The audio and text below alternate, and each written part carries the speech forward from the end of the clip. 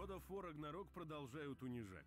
Мы с вами уже многократно наблюдали такую ситуацию, что эксклюзив Sony, ставший одним из года, в подведении итогов без труда